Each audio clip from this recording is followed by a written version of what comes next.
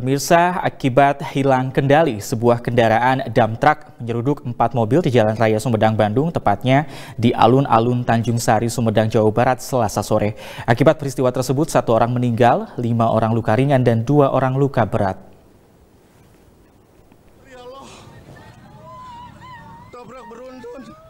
Seperti inilah suasana pasca kecelakaan yang terjadi di alun-alun Tanjung Sari, Kabupaten Sumedang, Provinsi Jawa Barat.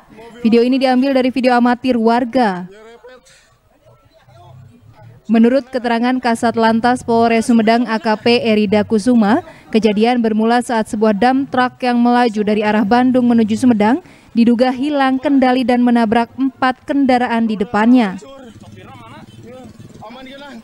AKP Erida menyatakan akibat peristiwa tersebut satu korban meninggal dunia, dua orang luka berat dan lima orang mengalami luka ringan.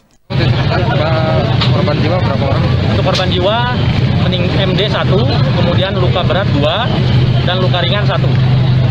Ini melibatkan berapa kendaraan? Kendaraan yang terlibat itu ada uh, lima kendaraan, satu truk, kemudian satu angkot, kemudian satu uh, Pajero, kemudian yang dua adalah roda dua.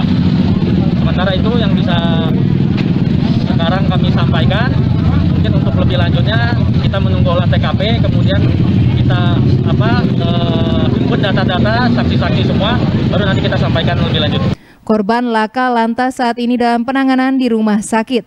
Sopir dan kernet dam truk sudah diamankan di Mapolres Sumedang untuk dimintai keterangan. Diki Guntara, Bandung TV.